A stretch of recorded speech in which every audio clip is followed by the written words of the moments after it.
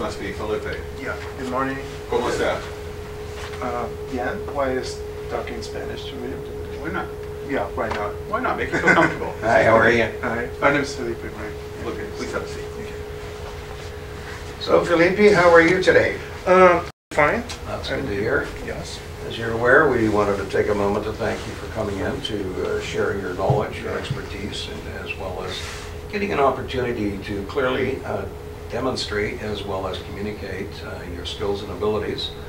And uh, at the end of the interview, we're going to allow you some time to ask us any questions that you may have so you are quite comfortable and fully knowledgeable of the position that we're currently recruiting for.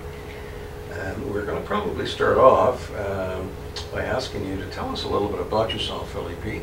As you know, we, we read about we read about you in paper format, but we're more interested in hearing from you in your own words by telling us something about yourself. Okay. Um, so I guess it's no surprise for of you that I'm a computer science student. Uh, I've been interested in computers for a long time, and I decided to start my career earlier by entering some courses.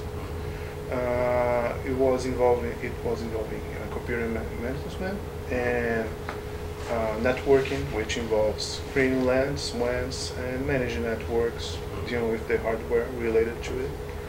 Uh, I got really into the information technology uh, uh, by the time, and when I entered university, I was fully aware of the area. So right now, I'm job ready for any position I can take. You know, When you mention your job ready, what does that mean? Uh, I already have the knowledge and the means to do uh, the position I'm applying for. Okay. Let's talk about your knowledge.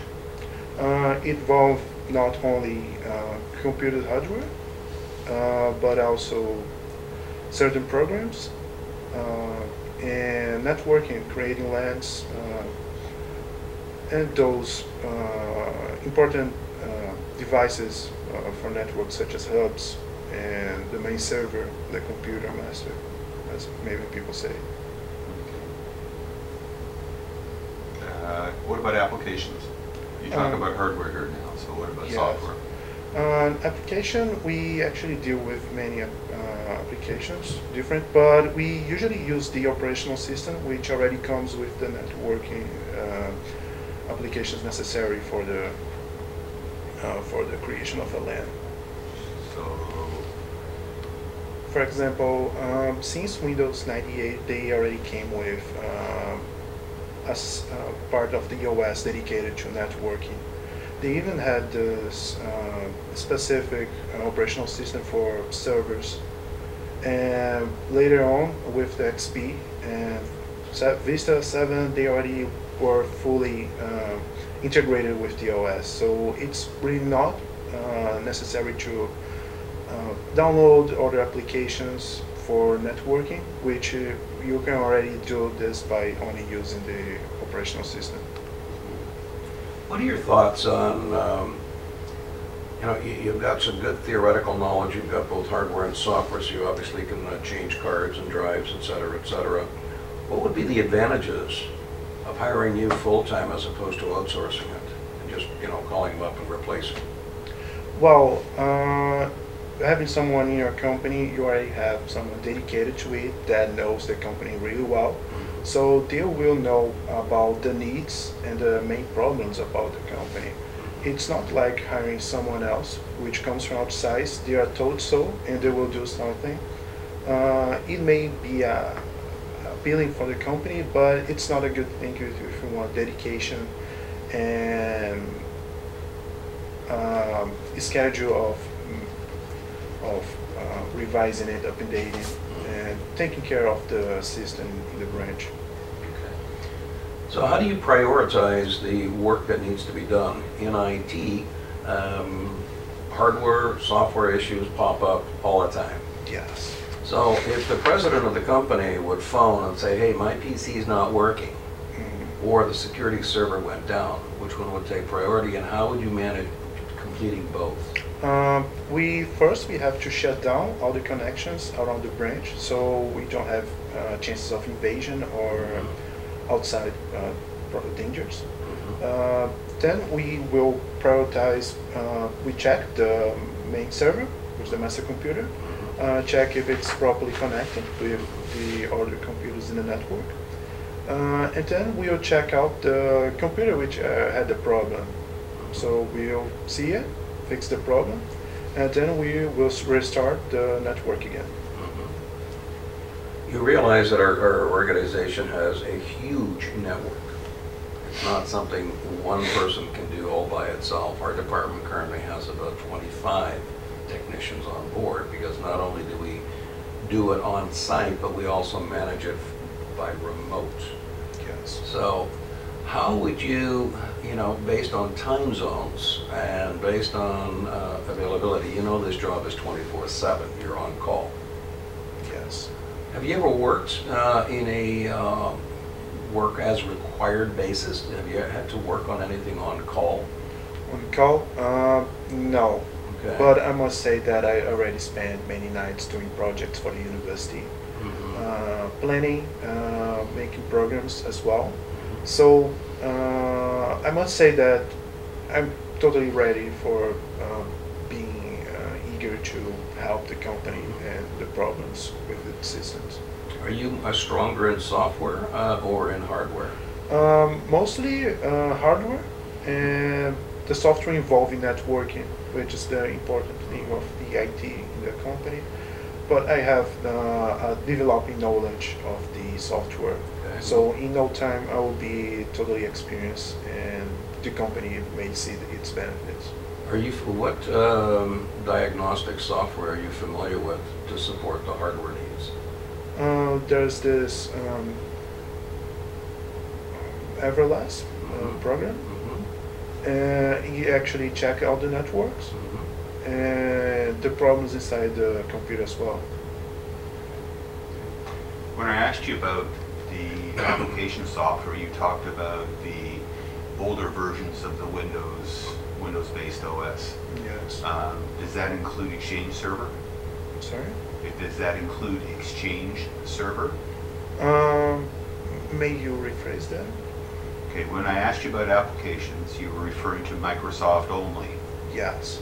OSs, uh, 98, uh, I can't remember which one you said. uh, Yes. um, you know, whatever it is, and up to Vista sort of thing, Windows 7 and 8 now. So these are operating systems, but in terms of networking, have you had any experience with Microsoft Exchange Server? Uh, yes, I had a little bit with uh, during the course that I was doing about networking. Uh, it's not really popular nowadays. Uh, Exchange Server? yes. In business?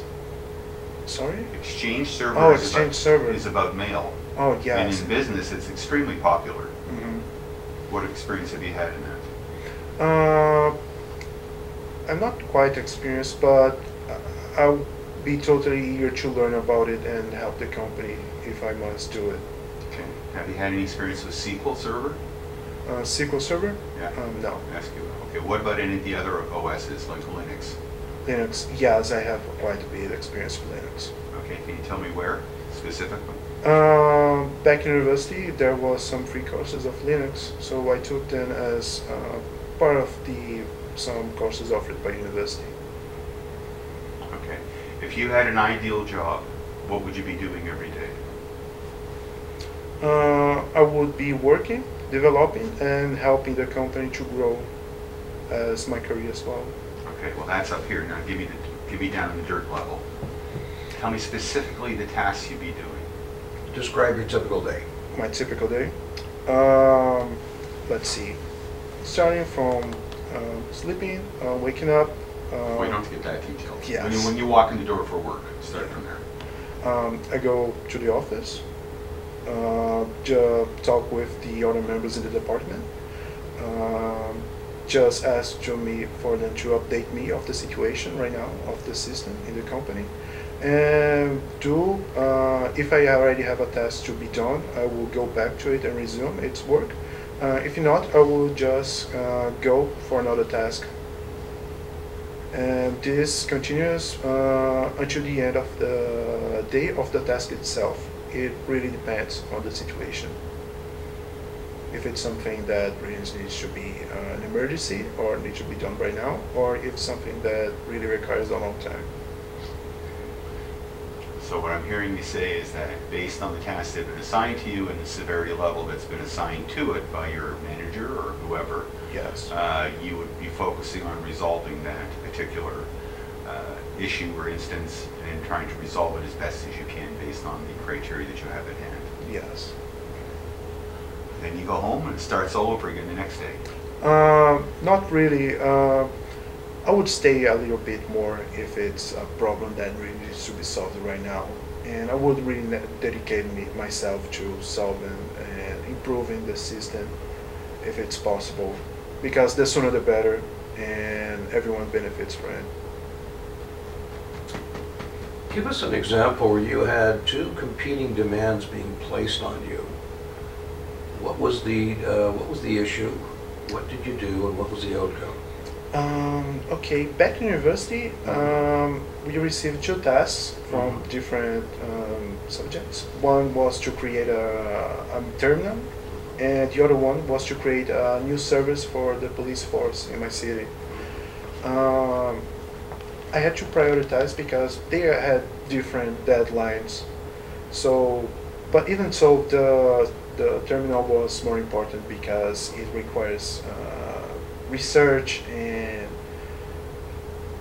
and uh, and analyzing how we can uh, make it easier for everyone to use, not only uh, normal people, but uh, people with certain difficulties such as blindness and mute, if they are mute. So you have to try and try again until you get the final version of it. And the other one required uh, uh, research as well, but it was more specific. We just had to go to the police headquarters and just do some inquiry uh, survey, and then we just had to uh, organize information until we had the result of it, the prototype of the program. Uh, so we had to prioritize, and the terminal was more important than the police terminal or police uh, service. uh, So I guess my, my question is, did you complete them both? Yes, we completed both, me and my team. Okay. All right. No, I'm done. Do you have any questions of ourselves, Philly? Uh, I am really interested in the position. When can I hear from you? Well, we're, as you're aware, we're doing the preliminary evaluations today. Yes. And in fairness to all the candidates that are putting forth their um, skills and abilities for consideration, it'll probably take us a week to 10 days. Lori and I will deliberate at the, at the conclusion of our interviews today, and we'll be in touch with the uh, candidates for second and further evaluations within the next seven to 10 days. Okay. Um, just one more question. Sure. Uh, what are the most common problems within the network? Probably, uh, we're looking at uh, the user errors. Um, We have, uh, the network is stable. We have a 99% uh, reliability in terms of accessibility. So it's predominantly uh, either hardware uh, breakage or software malfunction, so they need to be, it's more of a, um, I'm going to use the term more of a, a- a database administrator role from a software perspective, and then the hardware is break fix. User errors, they drop coffee on the keyboard, doesn't work.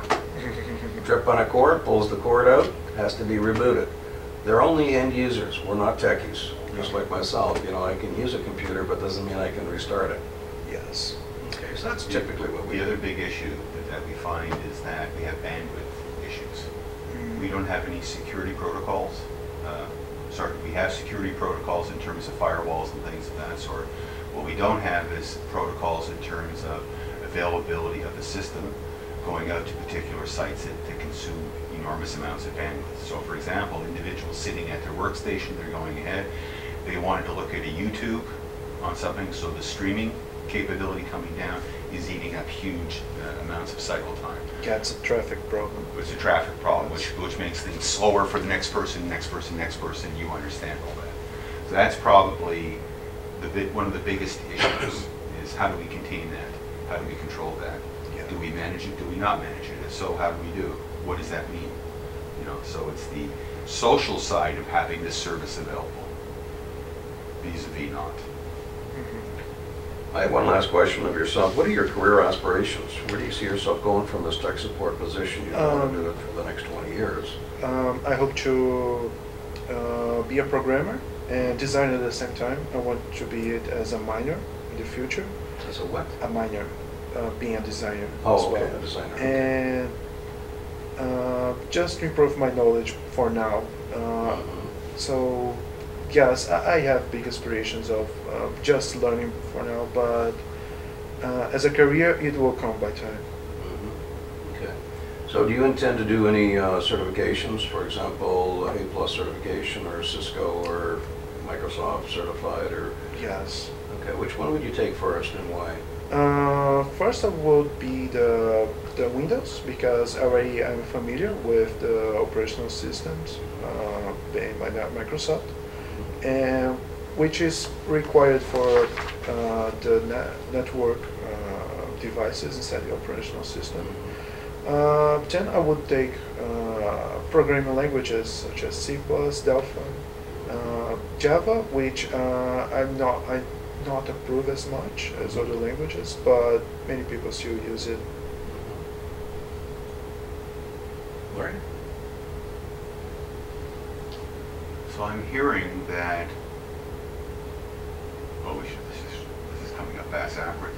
What I'm hearing is that you want to develop more into applications down the road. Yes. Okay.